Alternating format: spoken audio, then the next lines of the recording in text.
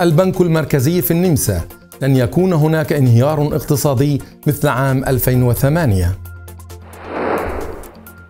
وزارة الاندماج تؤكد أن السوريين هم الأكثر تكاملا في سوق العمل. أكثر من 1500 سوري يحيون الذكرى الثانية عشر لانطلاق الثورة ضد الأسد. انخفاض مخالفات الاحتيال على السوسيال في النمسا العام الماضي. أكراد النمسا يستقبلون الربيع بالاحتفال بعيد الناروز. النمسا في المرتبة الحادية عشر في مؤشر يوم السعادة العالمي.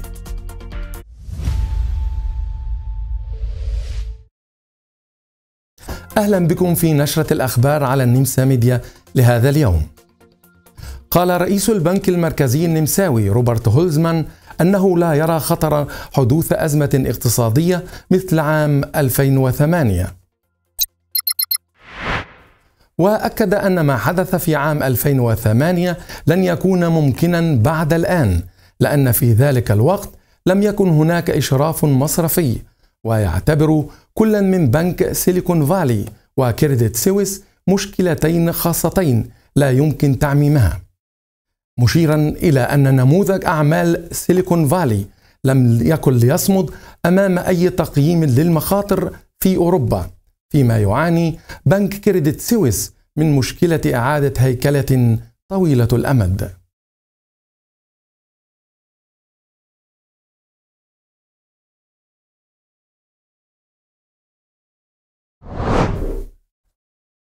أصدر صندوق الاندماج النمساوي UEF دراسة جديدة حول تكامل سوق العمل.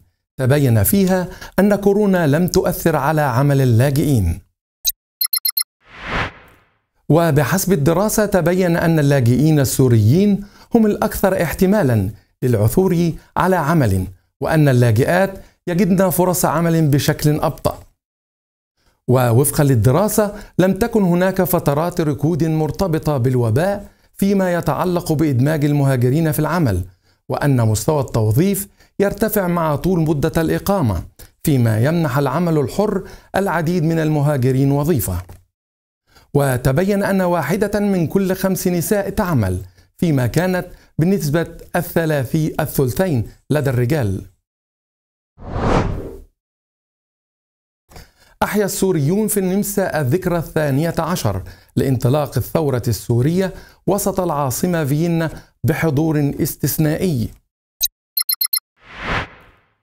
وفي اجتماع يعتبر الأكبر في تاريخ النمسا حضر أكثر من 1500 شخص حسب تنسيقية النمسا لدعم الثورة السورية.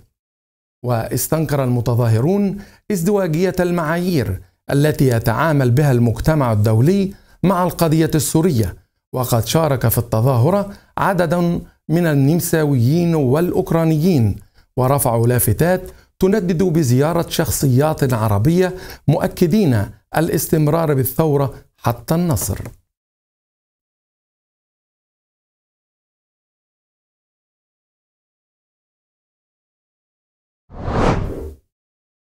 انخفضت مخالفات الاحتيال على نظام المساعدات الاجتماعية في النمسا العام الماضي فيما قد قدرت الخسائر ب 14 مليون يورو. وأكد وزير الداخلية كانر أن الحكومة تطبق إجراءات مكثفة لمكافحة الاحتيال موضحا أن هناك حاليا مئات الحملات المركزة معتبرا أن ذلك يلحق ضررا بالغا بدافع الضرائب.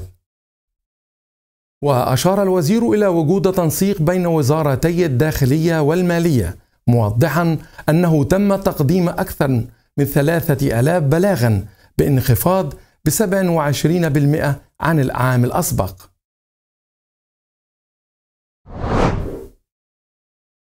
احتفلت الجالية الكردية في فيينا برأس السنة الكردية عيد الناروز على نهر الدانوب بحضور أعداد كبيرة. ودعا إلى التجمع المركز الثقافي الاجتماعي الكردي في فيينا ومركز الجالية الكردستانية بالنمسا حيث تجمع حشد جماهيري كبير بلغ الآلاف وتخلل الحفل لوحات فنية غنائية وتراثية بالزي الكردي التقليدي. وألقى نزار موسى رئيس المركز كلمة الاحتفال تطرق فيها للواقع السوري العام والكردي الخاص.